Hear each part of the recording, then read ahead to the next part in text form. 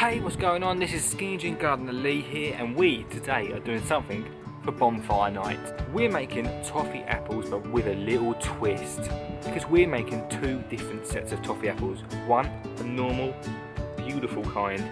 Another, a little bit spicy. I've got too many chilies and too many apples.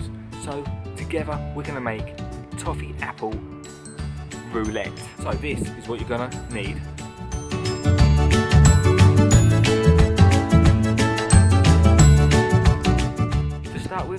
Butter, a cup of sugar, half a cup of water, three tablespoons of golden syrup, mix them all together and get them onto the barbecue.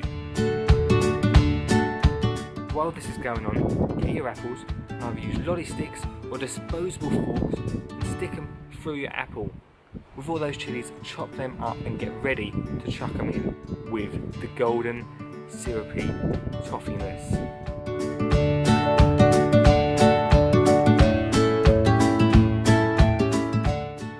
About 15 minutes of cooking, now is the time to get three of your apples and mix them in with the toffee.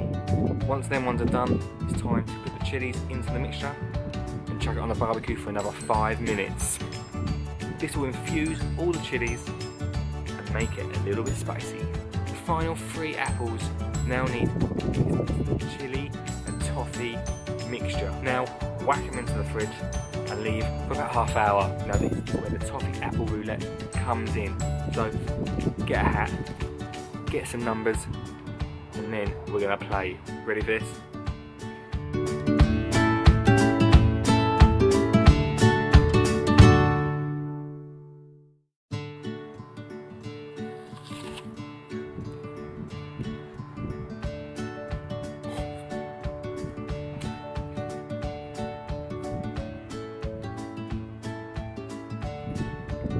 The chili ones taste pretty good.